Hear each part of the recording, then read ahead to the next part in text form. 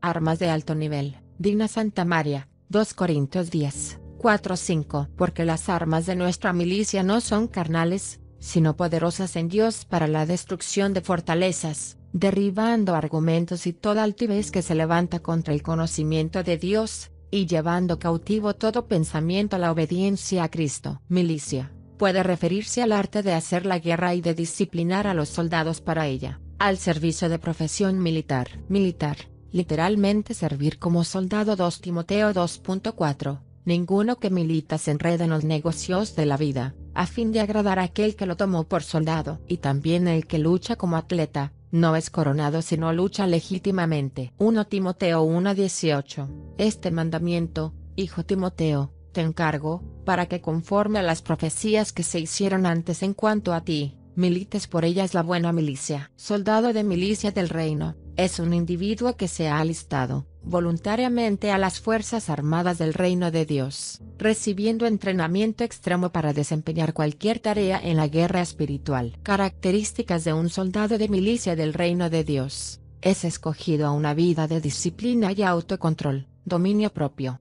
Es escogido a ser vigilante para proteger a otros, para cuidar las riquezas del reino, para mantener la paz en el reino y para conquistar territorios para el reino como soldados de Dios tenemos armas de guerra que conocemos y desconocemos, pero todas fueron dadas por Dios para ayudarnos a destruir los diseños de las tinieblas y traer el reino de Dios a esta tierra. Estas armas son las siguientes. Punto las armas espirituales. 1. La armadura de Dios. Esta armadura habla de nuestra manera de vivir y de creer. Cuando el apóstol Pablo escribió sobre esta armadura la comparó con las armaduras de un soldado, solo para que nosotros pudiéramos comprender un poco sobre ellas, mas no fue su intención original el que nos enfrascáramos en la armadura como tal sino en el significado de la misma que es totalmente diferente. Se podría decir que la armadura descrita en Efesios 6, 14-18 es la cobertura que el Señor pone en el cristiano que tiene un estilo de vida de acuerdo a la conducta de Cristo descrita en la misma. Las partes de esta armadura son,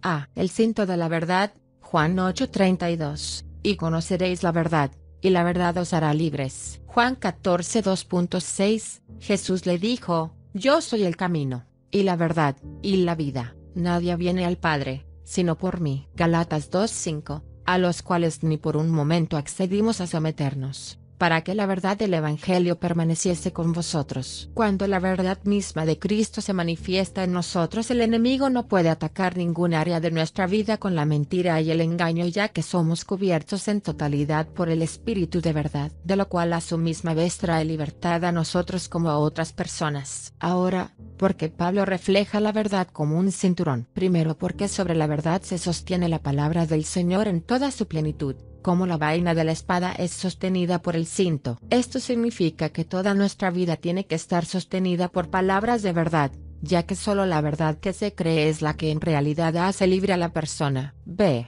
La coraza de justicia. Dikaiosune es el carácter o cualidad de ser recto o justo.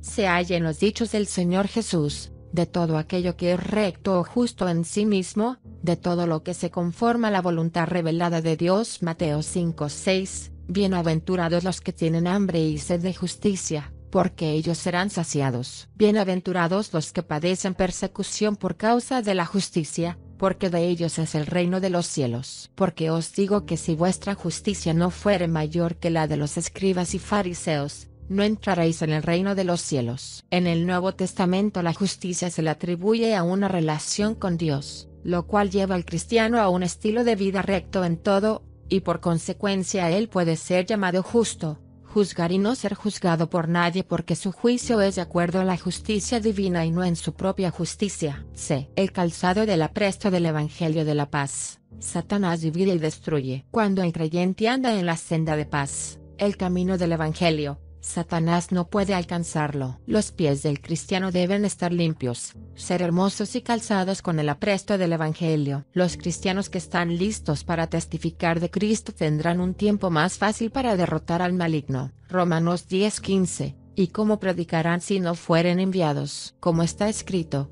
cuán hermosos son los pies de los que anuncian la paz de los que anuncian buenas nuevas. Este calzado también representa nuestra identidad como hijos de Dios y nuestra paz en saber que Él lo llena todo. D. El escudo de la fe. Cepistis primariamente significa, firme persuasión, confianza y convicción basada en lo oído Hebreos 11.1, Romanos 3.25, a quien Dios puso como propiciación por medio de la fe en su sangre, para manifestar su justicia, a causa de haber pasado por alto, en su paciencia, los pecados pasados Galatas 5.22, mas el fruto del Espíritu es amor, gozo, paz, paciencia, benignidad, bondad, fe, creer, pisteo o firme convicción que procede de un pleno reconocimiento de la revelación de la verdad de Dios. Cuando nuestra vida está sostenida en la fe, ningún ataque mortal de las tinieblas podrá venir sobre nosotros porque nuestra morada está en el Señor. Salmo 91. Ya que la fe es una de las bases legales más fuertes que Dios tiene para moverse a nuestro favor. La fe da destreza a los dones y sentidos espirituales que están en el creyente a desarrollar y manifestar el reino de Dios aquí en la tierra. 3. E. El yelmo de la salvación.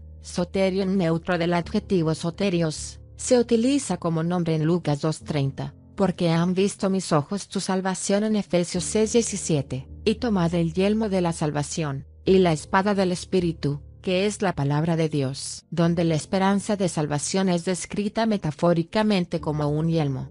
Soterios, que trae salvación, se usa con el propósito de describir la gracia de Dios. Tito 2.11 porque la gracia de Dios se ha manifestado para salvación a todos los hombres para salvación cuando se habla del yelmo siempre se menciona que es para guardar la mente de los ataques de las tinieblas que hacen dudar al cristiano de su salvación en Cristo y de su conducta en el Evangelio y esto es cierto, pero no es todo. El yelmo funciona como casco protector para que los demonios no tomen el ciclo de nuestros pensamientos y lo manejen a su antojo sino que sea Cristo el dueño absoluto de todos ellos. Pero el yelmo también funciona para que nuestra mente siempre esté conectada a la mente de Cristo y nuestros pensamientos se fusionen en uno con los pensamientos de Él, llegando a ser los pensamientos del Señor mis pensamientos, el cual traerá una convicción profunda a todo mi ser almático y corporal de que yo soy uno con Dios. Por consecuencia ellos estarán obligados a obedecer todos los impulsos espirituales dictados por el Espíritu Santo el cual está unido a nuestro espíritu. F. La espada del Espíritu. La espada es un representativo simbólico de la palabra de Dios. Apocalipsis 1.16 tenía en su diestra siete estrellas, de su boca salía una espada aguda de dos filos, y su rostro era como el sol cuando resplandece en su fuerza. Palabra se le atribuyen a tres traducciones griegas que son,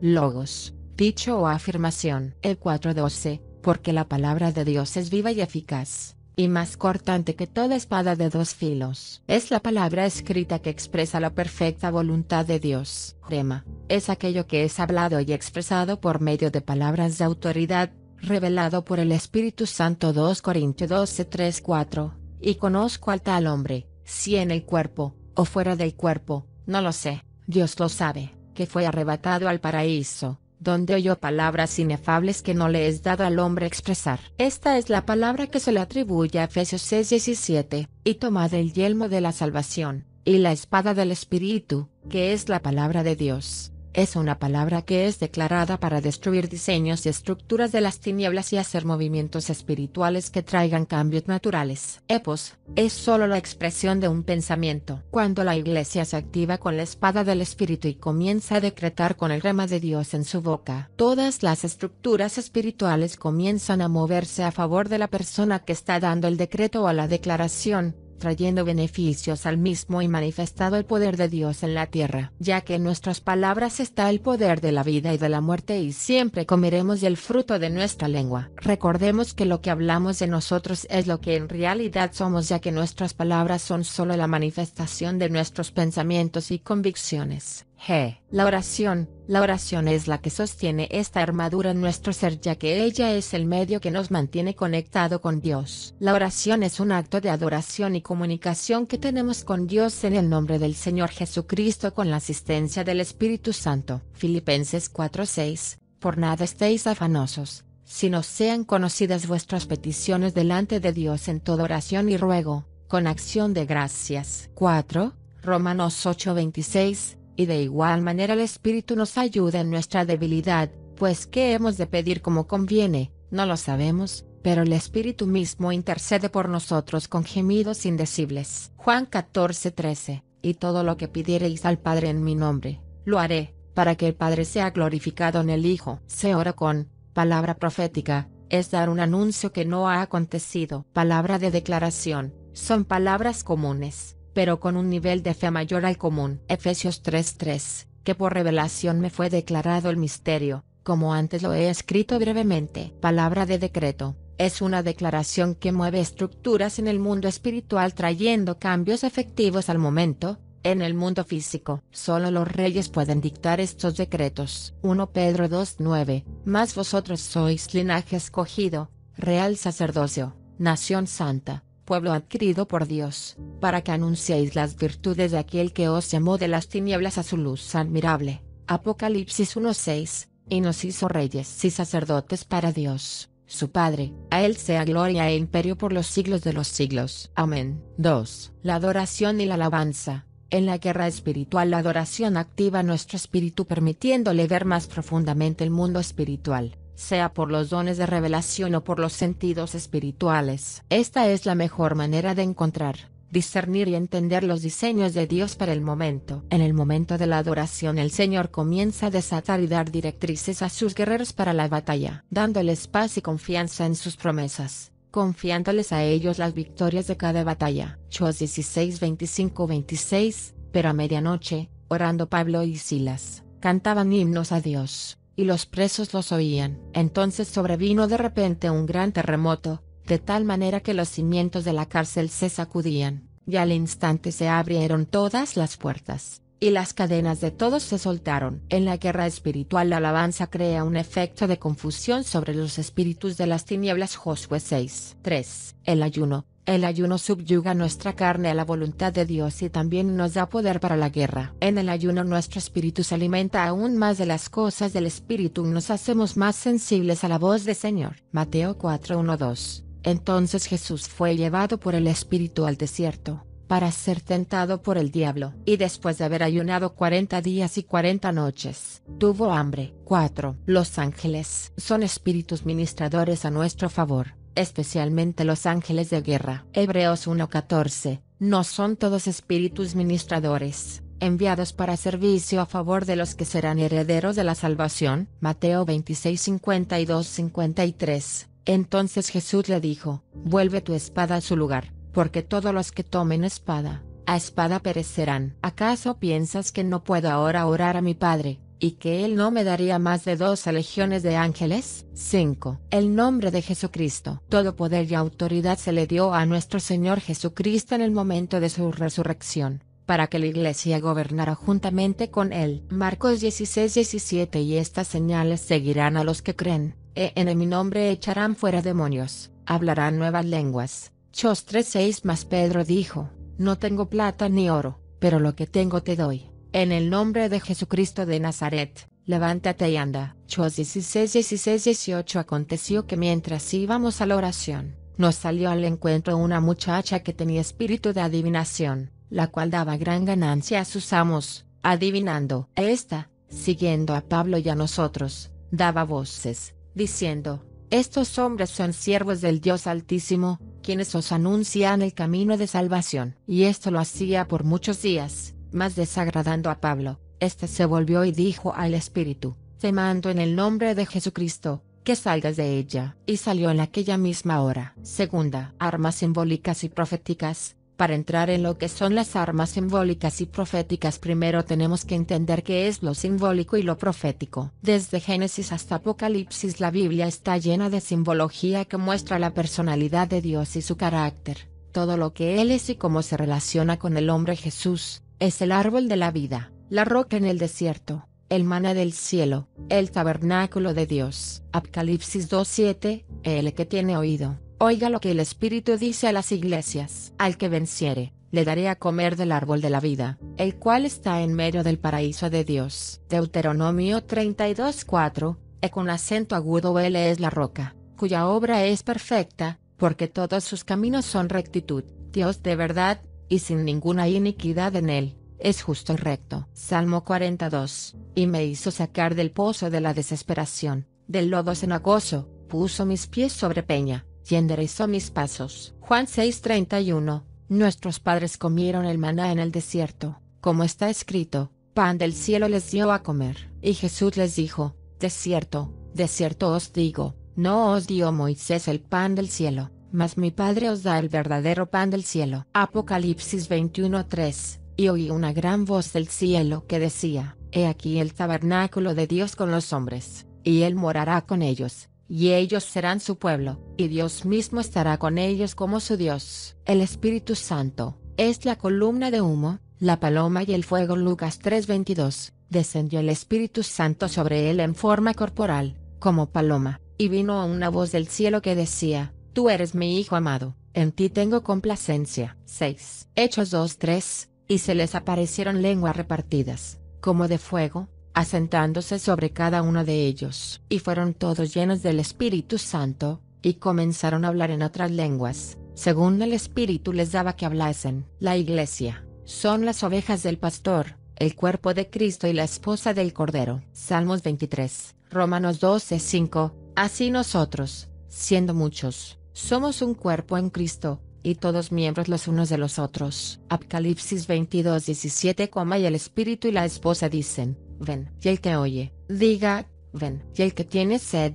venga, y el que quiera, tome del agua de la vida gratuitamente. El símbolo es lo que conecta el mundo material con el espiritual, aunque el símbolo sea totalmente natural. Ejemplo, Eliseo le dice a Namán que se lave en el Jordán para recibir sanidad, Sabemos bien que el río Jordán no tenía poder para sanar, fue la obediencia del general la cual manifestó la sanidad. Pero entendamos que el profeta usó algo natural como lo fue el agua del río para manifestar algo sobrenatural. El bautismo también es algo simbólico ya que representa nuestra muerte y resurrección en Cristo. El diccionario de Nelson, Wilton M., Nuevo Diccionario Ilustrado de la Biblia. Nasville, TN, Editorial Caribe, 2000. C. 1998 dice lo siguiente sobre lo simbólico. Símbolo. Objeto o señal que por analogía expresa una idea o representa algo. En la Biblia encontramos tres principales tipos de símbolos. El primero, el símbolo poético, lo hallamos a través de la Biblia, pero especialmente en salmos y cantares de los cantares. Estos símbolos ayudan a definir la manera en que el escritor se percibe a sí mismo y al mundo. Por ejemplo, David, al reconocer que el hombre es vulnerable a los ataques del pecado, ve a Dios como fortaleza. Salmos 31.2, inclina a mí tu oído, líbrame pronto, sé tú mi roca fuerte, y fortaleza para salvarme. El segundo tipo de símbolo, el de la ceremonia religiosa Pentateuco, particularmente en Éxodo. Estos símbolos los estableció Dios directamente para el beneficio de los israelitas en la adoración. Les servía como cotidianos recordatorios de la invisible presencia de Dios del plan divino. Los sacrificios diarios prescritos en Éxodo 30 eran actos simbólicos del plan divino para la redención. El tercer tipo de símbolo, el símbolo de la visión profética, lo hallamos en los libros de profecía, sobre todo en los libros de Ezequiel, Daniel, Zacarías y Apocalipsis. La iglesia de este siglo se está levantando como una reformadora trayendo el reino de Dios a la tierra, tomado el territorio y limitando las fuerzas de las tinieblas por medio de actos proféticos. ¿Qué es un acto profético? Un acto profético es una acción hecha o dicha en lo natural que le da el derecho legal al poder de Dios de impactar el mundo espiritual y que a su misma vez trae un movimiento o un efecto en el mundo físico. Santiago 5:14 ¿E ¿Está alguno enfermo entre vosotros? Llame a los ancianos de la iglesia, y oren por él, ungiéndole con aceite en el nombre del Señor. 7.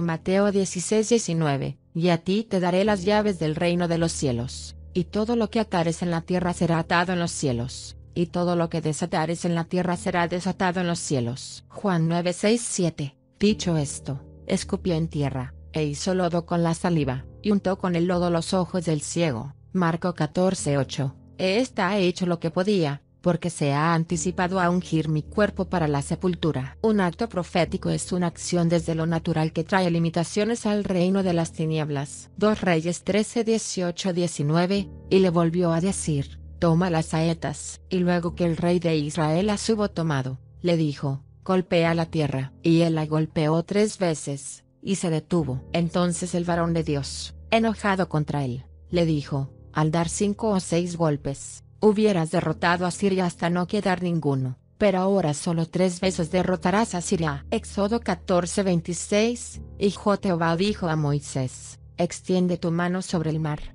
para que las aguas vuelvan sobre los egipcios, sobre sus carros, y sobre su caballería. Jeremías 1:10. Mira que te he puesto en este día sobre naciones y sobre reinos, para arrancar y para destruir, para arruinar y para derribar, para edificar y para plantar. Los grandes héroes de la Biblia usaron algún elemento o cosa como simbología para hacer actos proféticos los cuales produjeron grandes resultados. Algunos de ellos fueron, Moisés usó una vara. Éxodo 4:2-3. Y Jehová dijo, ¿qué es eso que tienes en tu mano? Y él respondió, una vara. Él le dijo, e con acento agudo chala en tierra. Y él le echó en tierra, y se hizo una culebra, y Moisés subía de ella. Jacob usó una piedra. Génesis 28, 18, 22. Y esta piedra que he puesto por señal, será casa de Dios, y de todo lo que me dieres, el diezmo apartaré para ti. Elías usó un manto. Dos Reyes 2, 12, 15. Viéndolo Eliseo, clamaba, signo de exclamación abierta Padre mío, Padre mío, carro de Israel y su gente de a caballo. Y nunca más le vio, y tomando sus vestidos, los rompió en dos partes. Alzó luego el manto de Elías que se le había caído, y volvió, y se paró a la orilla del Jordán. Y tomando el manto de Elías que se le había caído, golpeó las aguas, y dijo, ¿De dónde está Jehová, el Dios de Elías? Y así que hubo golpeado del mismo modo las aguas, se apartaron a uno y a otro lado. Y pasó Eliseo, viéndole los hijos de los profetas que estaban en Jericó al otro lado, dijeron, el espíritu de Elías reposó sobre Eliseo, y vinieron a recibirle, y se postraron delante de él. Eliseo usó una rama y usó las salmos. Dos Reyes 6, 5, 7, y aconteció que mientras uno derribaba un árbol, se le cayó el hacha en el agua, y gritó diciendo, signo de exclamación abierta a, Señor mío, era prestada. El varón de Dios preguntó, ¿dónde cayó? Y él le mostró el lugar. Entonces cortó él un palo, y lo echó allí, e hizo flotar el hierro, y dijo, tómalo. Y él extendió la mano, y lo tomó. 8. Dos Reyes 2.21 Y saliendo él a los manantiales de las aguas, echó dentro la sal, y dijo, Así ha dicho Jehová, yo sané estas aguas, y no habrá más en ellas muerte ni enfermedad. Santiago uso aceite. Santiago 5.14. ¿Está alguno enfermo entre vosotros? Llame a los ancianos de la iglesia y oren por él, ungiéndole con aceite en el nombre del Señor. Jesús usó barro, pan y vino. Juan 9, 6, 7. Dicho esto, escupió en tierra, e hizo lodo con la saliva, y untó con el lodo los ojos del ciego, y le dijo, Ve a lavarte en el estanque de Siloé, que traducido es, enviado. Fue entonces, y se lavó, y él regresó viendo. Lucas 22, 19, 20, y tomó el pan y dio gracias, y lo partió y les dio,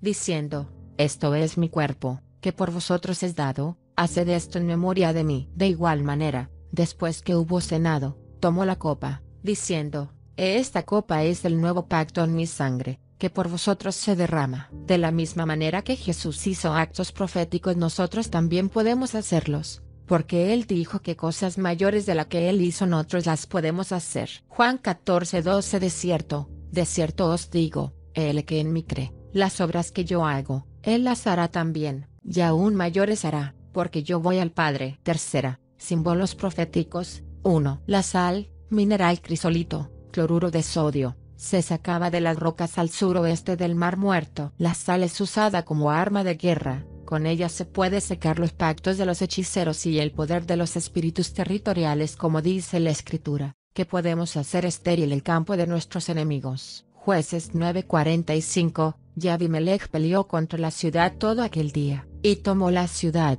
y mató al pueblo que en ella estaba, ya asoló la ciudad, y la sembró de sal. Se puede sanar el territorio de las consecuencias del pecado como lo hizo Eliseo.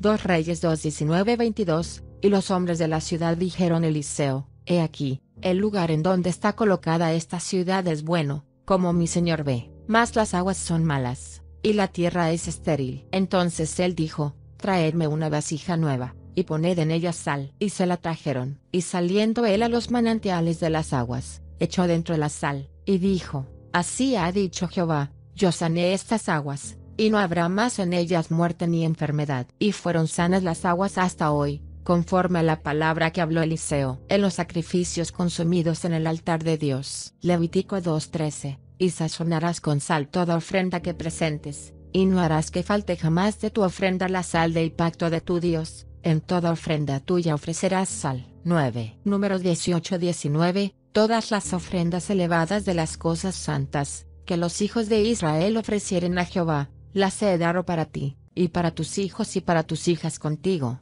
por estatuto perpetuo. Pacto de sal perpetuo es delante de Jehová para ti y para tu descendencia contigo, para hacer estéril el campo de los enemigos. Deuteronomio 29-23. Azufre y sal, abrazada toda su tierra, no será sembrada, ni producirá con acento agudo, ni crecerá en ella hierba alguna, como sucedió en la destrucción de Sodoma y de Gomorra, de Adma y de Seboim, las cuales Jehová destruyó en su furor y en su ira. Job 39:6 al cual yo puse casa en la soledad, y sus moradas en lugares estériles. Sofonias 2:9 Por tanto, vivo yo, dice Jehová de los ejércitos, Dios de Israel, que Moab será como Sodoma, y los hijos de Amón como Gomorra, campo de ortigas, y mina de sal, y asolamiento perpetuo, el remanente de mi pueblo los saqueará, y el remanente de mi pueblo los heredará. Se puede romper maldiciones y liberar a una persona. El Señor Jesús pasó por esto cuando fue un niño según la cultura del pueblo de Israel. Ezequiel 16:4. Y en cuanto a tu nacimiento, el día que naciste no fue cortado tu ombligo, ni fuiste lavada con aguas para limpiarte, ni salada con sal ni fuiste envuelta con fajas, para realizar pactos de durabilidad y fidelidad. Levítico 2.13, y sazonarás con sal toda ofrenda que presentes, y no harás que falte jamás de tu ofrenda la sal del pacto de tu Dios, en toda ofrenda tuya ofrecerás sal. La sal representa también el fuego, hablando de purificación, destrucción de nuestros enemigos y también protección divina. Marcos 9:48-49, donde el gusano de ellos no muere, y el fuego nunca se apaga, porque todos serán salados con fuego, y todo sacrificio será salado con sal. Buena es la sal, mas si la sal se hace insípida, ¿con qué la sazonaréis? Tened sal en vosotros mismos, y tened paz los unos con los otros, porque todos serán salados con fuego, y todo sacrificio será salado con sal. Buena es la sal. Zacarías 2.5, yo seré para ella, dice Jehová, muro de fuego en derredor, y para gloria estaré en medio de ella. La sal viene de la palabra griega halas lo cual se utiliza para denominar también el carácter, condición y sabiduría del cristiano en el mundo el cual vivimos Mateos 5:13. Vosotros sois la sal de la tierra, pero si la sal se desvaneciere, signo de interrogación abierta con qué será salada, no sirve más para nada, sino para ser echada fuera y hollada por los hombres. La oración con la sal, en el hogar, en el nombre de Jesús con esta sal tomo autoridad sobre mi casa para secar todo pacto y nombramiento satánico puesto y dirigido a mi nombre o al nombre de mi familia. Seco el poder del brujo, y del hechicero si declaro su caída y muerte si no se convierte a Cristo. Con esta sal vengo secando la enfermedad, la división, el partidismo, la escasez y la pobreza en el nombre de Jesús y declaro un pacto eterno donde le entrego mi casa al Padre,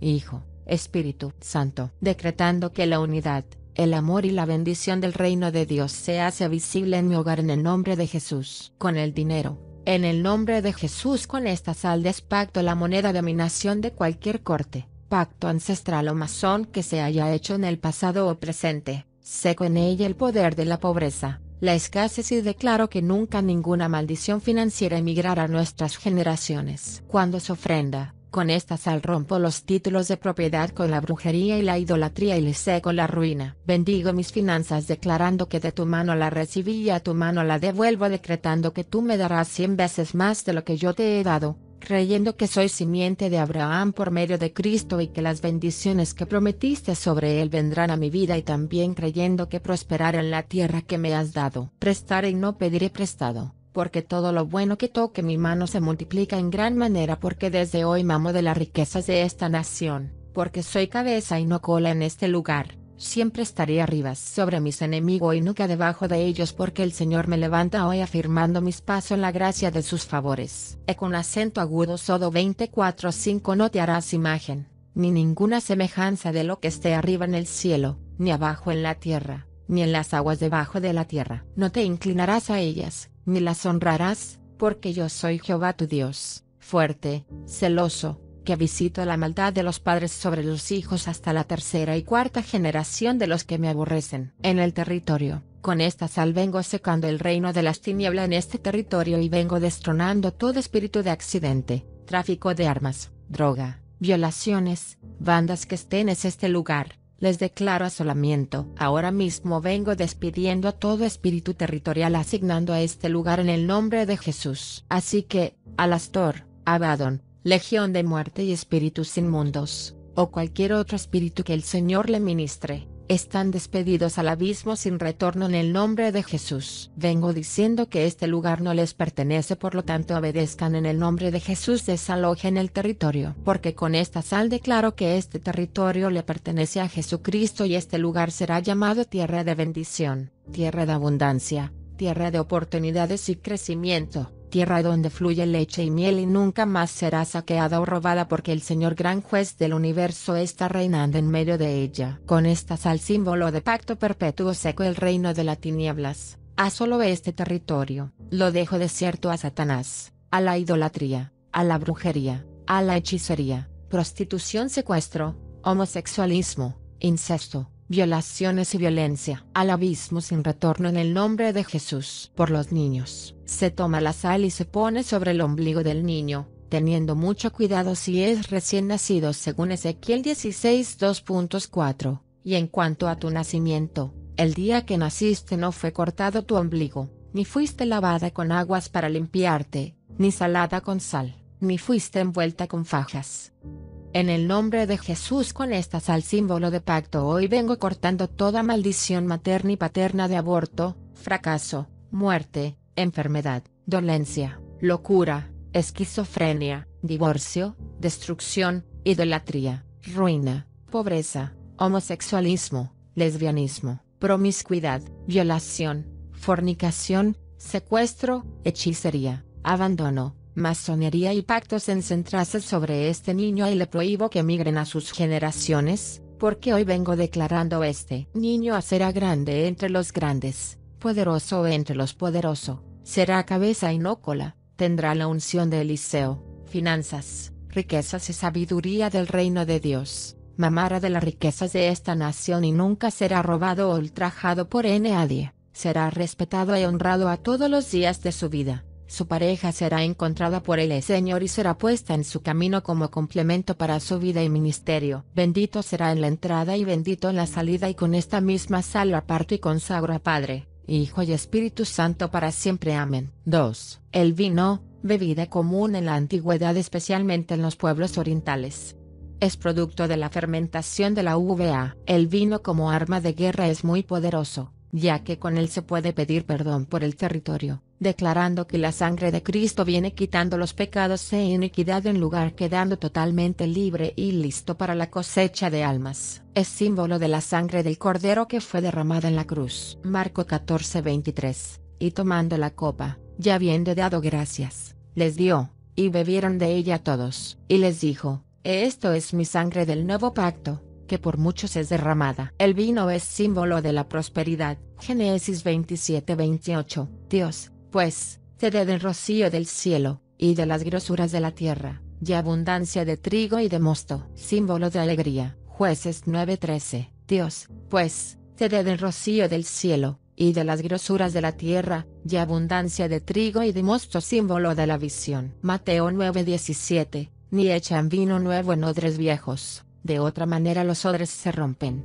y el vino se derrama, y los odres se pierden, pero echan el vino nuevo en odres nuevos, y lo uno y lo otro se conservan juntamente. Todo símbolo de derramamiento de sangre en el Antiguo Testamento solo era una expresión de derramamiento de sangre de Jesucristo en la cruz del Calvario. Romanos 3:25, a quien Dios puso como propiciación por medio de la fe en su sangre, para manifestar su justicia, a causa de haber pasado por alto, en su paciencia, los pecados pasados Hebreos 9 13 14, porque si la sangre de los toros y de los machos cabríos, y las cenizas de la becerra rociadas a los inmundos, santifican para la purificación de la carne, cuanto más la sangre de Cristo, el cual mediante el Espíritu Eterno se ofreció a sí mismo sin mancha a Dios, limpiará vuestras conciencias de obras muertas para que sirváis al Dios vivo. Oración con el vino Con este el vino vengo pidiendo perdón por el pecado cometido en este territorio, pecados de homicidio, suicidio, hechicería, brujería e inmundicias sexuales y cómo se derrama este vino declaro que la sangre de Cristo es derramada sobre este lugar limpiando cada pecado cometido. Señor Jesús te pido que por medio de tu sangre puedas reconciliar este lugar con el Padre. Perdona el orgullo de esta gente y limpia su pecado delante de ti en el nombre de Jesús te lo pido. Amén. 3. El aceite. Grasa líquida comúnmente vegetal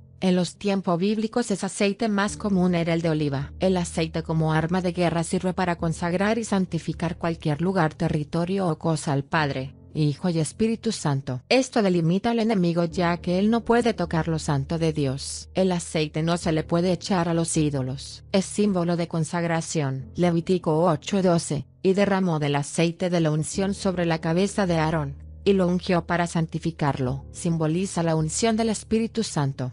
1 Samuel 10 2. Tomando entonces Samuel una redoma de aceite, la derramó sobre su cabeza, y lo besó, y le dijo, ¿No te ha ungido Jehová por príncipe sobre su pueblo Israel? 1 Reyes 1.39 Y tomando el sacerdote Sadoc el cuerno del aceite del tabernáculo, ungió a Salomón, y tocaron trompeta, y dijo todo el pueblo, signo de exclamación abierta viva el rey Salomón. Simboliza alegría, prosperidad y abundancia. Salmos 45:7, Has amado la justicia y aborrecido la maldad, por tanto, fungió Dios, el Dios tuyo, con óleo de alegría más que a tus compañeros. Isaías 61:3, a ordenar que a los afligidos de Sion se les dé gloria en lugar de ceniza, óleo de gozo en lugar de luto, manto de alegría en lugar del espíritu angustiado, y serán llamados árboles de justicia, plantío de Jehová, para gloria suya. Hebreos 1.9, has amado la justicia, y aborrecido la maldad, por lo cual te ungió Dios, el Dios tuyo, con óleo de alegría más que a tus compañeros. Simboliza la sanidad. Santiago 5.14, ¿está alguno enfermo entre vosotros? Llame a los ancianos de la iglesia, y oren por él, ungiéndole con aceite en el nombre del Señor. Marcos 6 2.13 y echaban fuera muchos demonios, y ungían con aceite a muchos enfermos y lo sanaban. Oración con el aceite. Padre, con este aceite vengo consagrando este lugar como Moisés consagró el tabernáculo para ti, declarando que este lugar te pertenece a ti y será llamada Tierra Santa Casa de Dios, lugar de adoración. Profetizo que toda persona que venga y pise este suelo donde se derrama este aceite entrará en arrepentimiento y reconciliación contigo. Profetizo y decreto tu presencia para siempre en el nombre de Jesús. Amén. 13. La ceralla y el fuego, se usa para fabricar velas, cerillas, papel parafinado y cosméticos. La cera y el fuego se puede usar como arma de guerra para destruir el poder del enemigo en lo que es la guerra de tronos, declarando que como el fuego consume la cera así el fuego del Señor consume el poder del enemigo. Ataduras e influencia en el lugar donde se haga la declaración. Salmo 68.2, como es lanzado el humo. Los lanzarás, como se derrite la cera delante del fuego, así perecerán los impíos delante de Dios. Hebreos 12:29, porque nuestro Dios es fuego consumidor. Deuteronomio 4:24, porque Jehová tu Dios es fuego consumidor, Dios celoso. Oración de la cera y el fuego. Se usa en la guerra de tronos, así como la cera es consumida por el fuego, es consumido tu poder e influencia en este lugar. En el nombre de Jesús lo profetizo, decreto y declaro. Todo el que te alumbra, te adorna, o levanta, terror de Jehová caerá sobre ellos porque espanto serás y la gente te temerá y por causa de esto te destruirán en el nombre de Jesús. 5. Las vasijas, también llamados vasos. Este instrumento se puede usar como símbolo de rompimiento, quebrantamiento o destrucción de maldiciones. Ger 19:10. Entonces quebrarás la vasija ante los ojos de los varones que van contigo,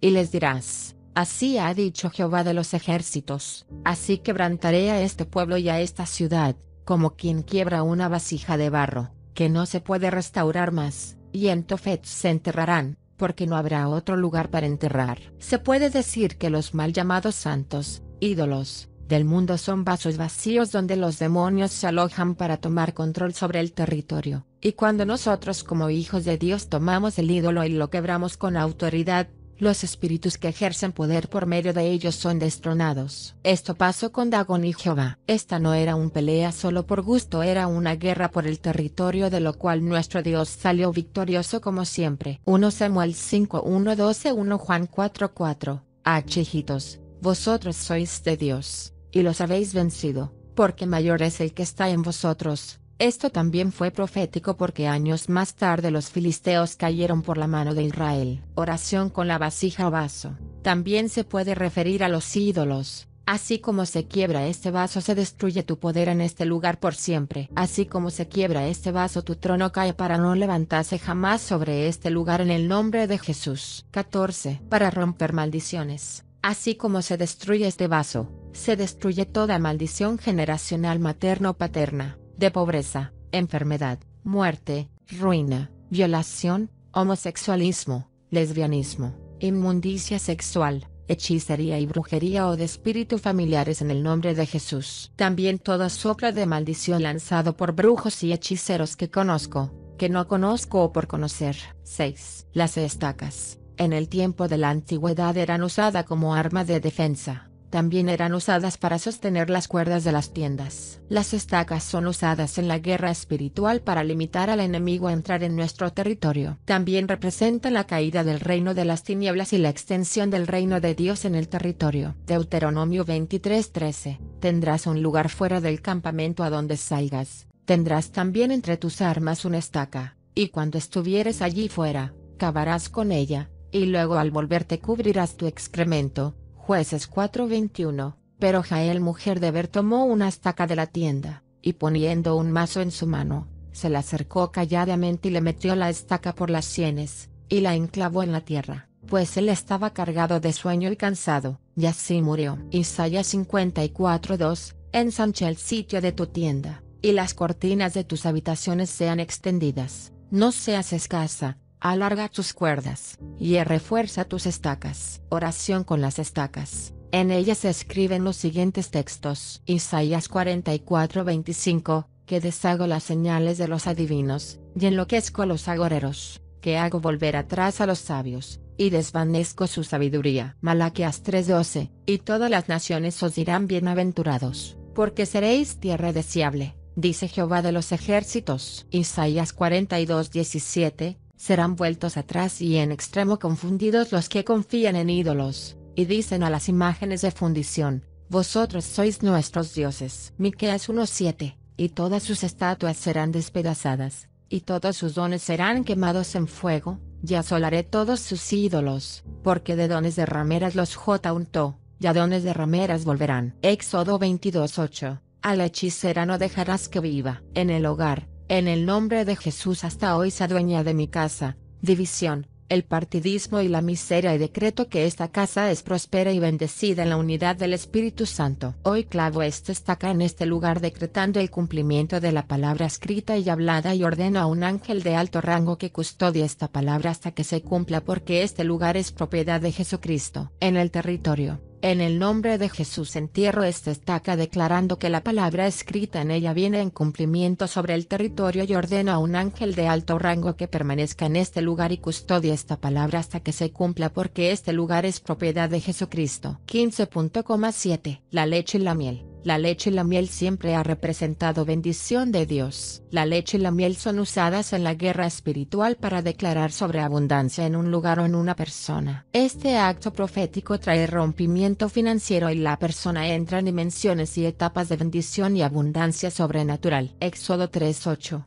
Y he descendido para librarlos de mano de los egipcios, y sacarlos de aquella tierra a una tierra buena y ancha, a tierra que fluye leche y miel, a los lugares del cananeo, del Eteo, del Amorreo, del Fereceo, del Ebeo y del Jebuseo. Deuteronomio 8 2.8 Tierra de trigo y cebada, de vides, higueras y granados, tierra de olivos, de aceite y de miel, tierra en la cual no comerás el pan con escasez, ni te faltará nada en ella, tierra cuyas piedras son hierro, y de cuyos montes sacarás cobre, y comerás y te saciarás, y bendecirás a Jehová tu Dios por la buena tierra que te habrá dado. Oración con la leche y la miel en el nombre de Jesús bendigo mis finanzas declarando y decretando que como Canaán era tierra de leche y miel mi negocio, Empresas, finanzas y bendiciones será como leche y miel. Con esta leche y esta miel declaro que mis bendiciones se multiplicarán hasta mil generaciones en el nombre de Jesús. Que seré tierra deseada que prestar y nunca pediré prestado. Que seré bendecido en la tierra que el Señor me Dios me da por heredad.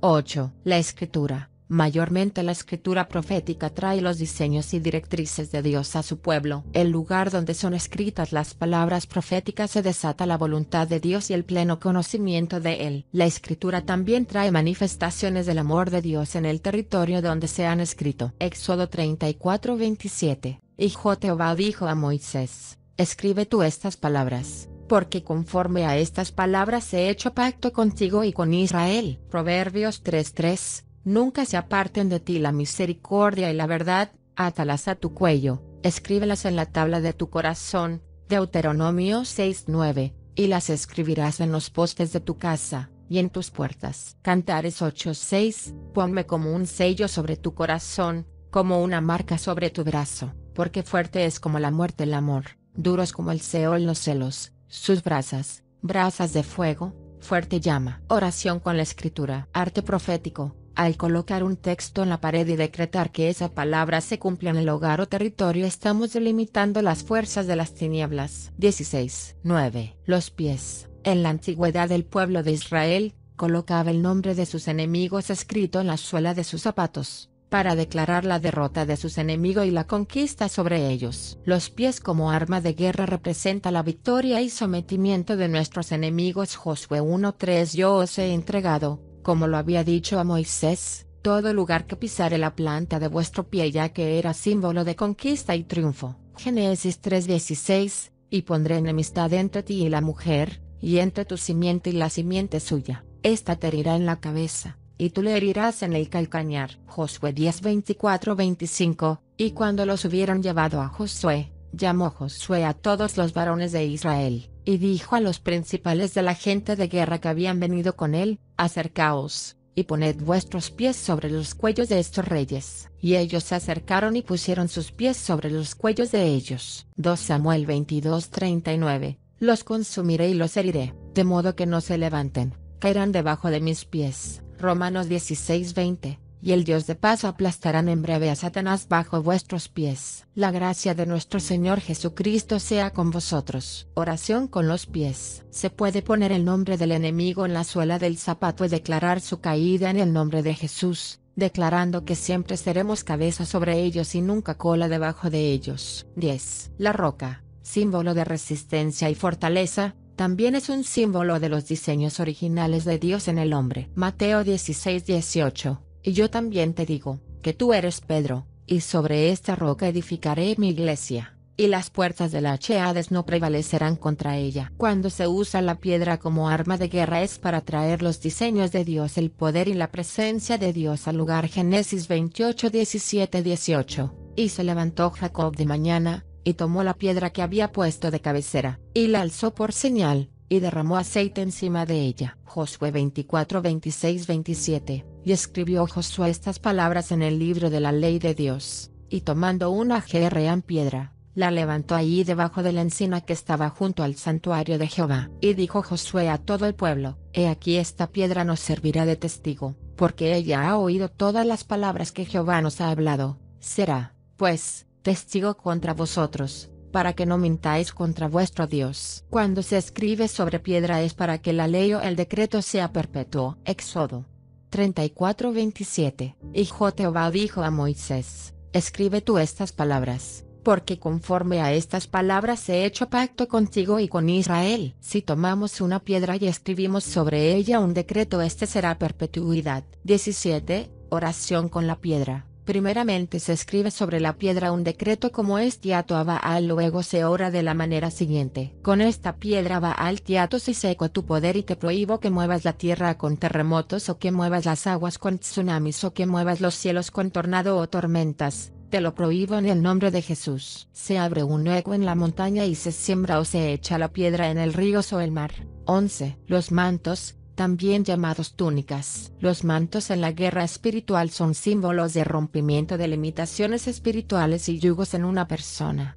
Dos Reyes 2.8 Tomando entonces Elías su manto, lo dobló, y golpeó las aguas, las cuales se apartaron a uno y a otro lado, y pasaron ambos por lo seco. Cuando un manto cae en el cuerpo del creyente, Proféticamente se está declarando un rompimiento lo cual acelera su espíritu y lo llevará a niveles o dimensiones sobrenaturales de cumplimientos. Isaías 10:27 Acontecerá en aquel tiempo que su carga será quitada de tu hombro, y su yugo de tu cerviz, y el yugo se pudrirá a causa de la unción. Oración con los mantos. Padre con este manto declaro que esta persona subirá a nuevos niveles de conocimiento revelación y autoridad declarando que su vida nunca más serán igual ya que se marca un antes y un después en él o ella. Que así como Eliseo recibió la unción de Elías él o ella pueda recibir la unción de tu Santo Espíritu para que haga milagros, prodigios, libere en todo tiempo y sea próspero como nunca antes lo ha sido en el nombre de Jesús. 12. El grano, es símbolo de abundancia multiplicación y sobreabundancia. Deuteronomio 33:28 E Israel habitará confiado, la fuente de Jacob habitará sola en tierra de grano y de vino,